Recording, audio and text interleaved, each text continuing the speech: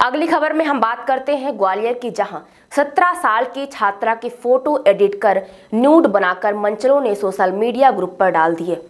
लड़की ने birthday celebration के फ़ोटो अपने सोशल मीडिया अकाउंट पर अपलोड किए थे। इन्हीं फ़ोटो के साथ मंचलों ने छेड़छाड़ की। छात्रा ट्वेल्थ की टॉपर रही है। परिवार ने एसएसपी अमित सांघी से शिकायत की है। पुलिस ने आरोपियों पर केस भी दर्ज कर लिया है। भिंड की रहने वाली छात्रा ने इस साल 93 परसेंट मार्क्स के साथ ट्वेल्थ पास किया है। वह प्रशासनिक अधिकारी बनना चाहती है। परिवार ने आगे की पढ़ाई के लिए उसे ग्वालियर भेज दिया था। छात्रा उपनगर मुरार में किराए से रहती है। 15 जून को उसका बर्थडे था। ताऊ के बेटे के साथ केक भी काटा था। फ़ोटो इंस्टाग्राम पर शेयर कर दिए। कुछ ही घंटे बाद इन फ़ोटो को छात्रा के गाँव के मंचलों ने कॉपी कर लिया। एक व्हाट्सएप ग्रुप से वायरल छात्रा के एडिटेड अश्लील फ़ोटो कुछ ही देर में गाँव भर के व्हाट्सएप ग्रुप में वायरल हो गए।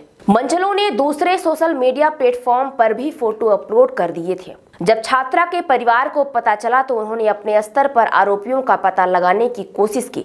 किसी ने जानकारी नहीं दी तो एसएसपी से शिकायत की।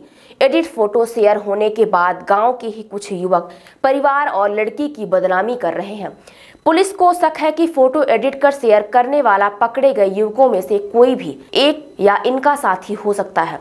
पुलिस की परेशानी यह है कि कोई भी ग्रुप का सदस्य फ़ोटो शेयर करने वाले युवक की जानकारी नहीं दे रहा, जबकि इस ग्रुप के सभी सदस्य एडमिन हैं। मुरार थाना प्रभारी शैलेन्द्र भार्गव ने बताया कि कुछ संदेहियों से पूछताछ की जा रही है